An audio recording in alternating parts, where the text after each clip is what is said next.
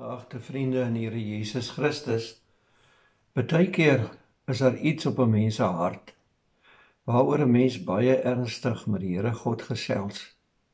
En dan het jy 'n bepaalde verwagting dat daardie versigtiging ook op 'n bepaalde manier geantwoord sal word. Baie keer egter voel dit vir mense asof God hulle nie hoor nie en hulle nie antwoord nie. Max Lucado vertel van 'n man wat baie opreg tot die Here toegetree het met 'n baie ernstige versigtiging. En hy het 'n prentjie gehad van hoe hy wil hê God dit moet beantwoord. Hy het vir die Here gesê: "Here, laat die bos brand soos wat U vir Moses gedoen het, dan sal ek vir U volg." Here, laat die muur in duie stort soos in die tyd van Josia, dan sal ek vir U veg.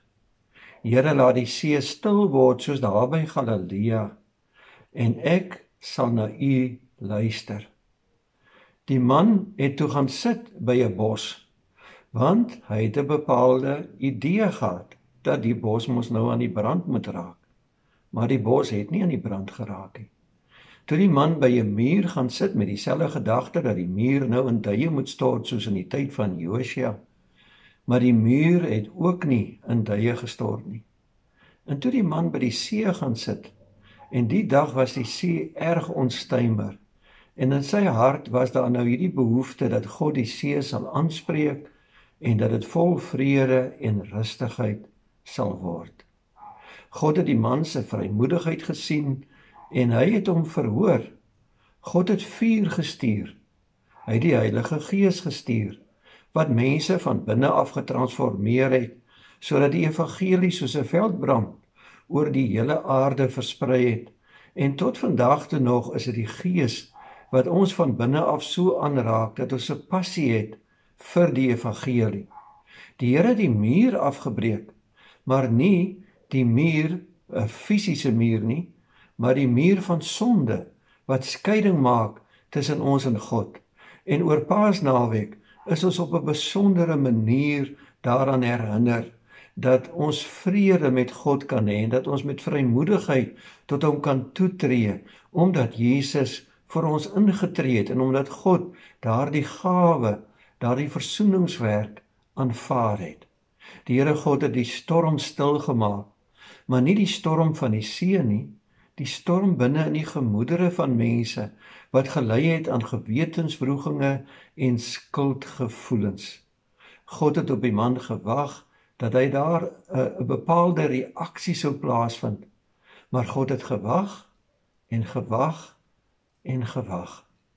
Maar omdat die man na die bos gestaar het en sodat die bos nou aan die brand sou raak en omdat hy in die muur sit en kyk het met die gedagte dat die muur in duie moet stort en omdat hy na die see gestaar het met die idee dat God die see moet rustig word, het hy gedink dat God hom nie aan sy versoek steur nie of dat God nie by magte is om sy versoek toe te staan nie.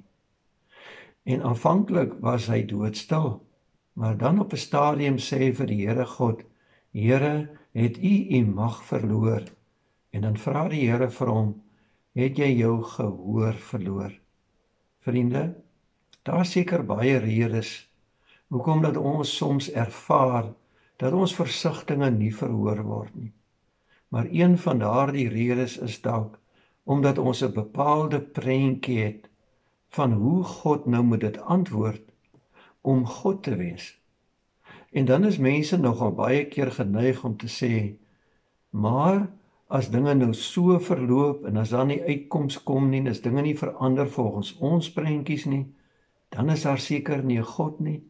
En as daar 'n God van liefde was, sou dit nooit gebeur het nie. Intussen verhoor God ons gebede.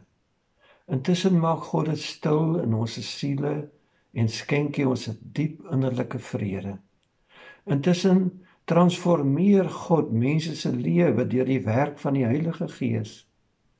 Intussen gee God ons hoop.